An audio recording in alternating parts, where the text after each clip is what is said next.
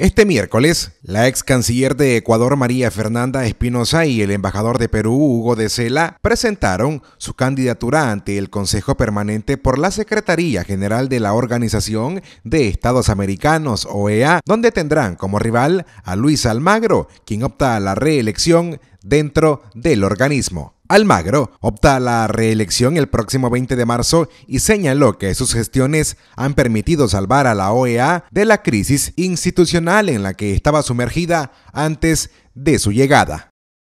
Las prioridades para seguir fortaleciendo la vigencia de la organización tienen que ver, en primer lugar, con mantener su sustentabilidad política.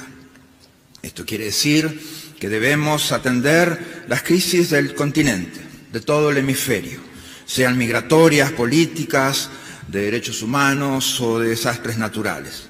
Debemos atender los problemas estructurales del continente en los cuatro pilares de la organización, propiciar buenas prácticas y atacar malas prácticas en materia de desarrollo, seguridad, acceso a derechos y democracia. Continuar nuestro trabajo para la estabilidad política regional, que es clave para el desarrollo. Seguir trabajando el fortalecimiento de instituciones democráticas. Las mismas son esenciales como instrumento de seguridad y desarrollo de nuestros pueblos. En cambio, María Fernanda Espinosa, candidata propuesta por los países caribeños que apoyan al gobierno en disputa de Nicolás Maduro en Venezuela, sostuvo que su gestión apuntaría a renovar y revitalizar el organismo multilateral. Propongo organizar mi gestión alrededor de tres ámbitos de trabajo. La renovación y revitalización un relanzamiento de su agenda programática y un código de ética para el rol de la Secretaría General.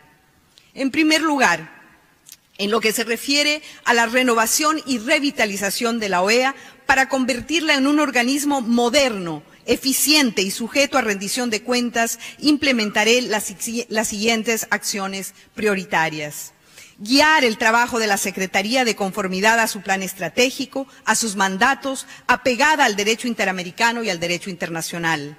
En cambio, Hugo de Sela, crítico de Luis Almagro, apuntó que su candidatura a la Secretaría General es porque la OEA necesita ser efectiva en el continente americano. El continente americano necesita que su organización hemisférica sea efectiva que logre resultados concretos y que ofrezca beneficios tangibles. Necesitamos que la OEA responda a los principales problemas y desafíos de la región, que atienda las prioridades y necesidades de los estados y las sociedades y que nos ayude a resolver los conflictos que encaramos. Darío Noticias.